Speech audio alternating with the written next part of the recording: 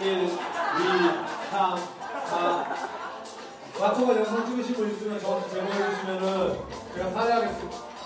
어?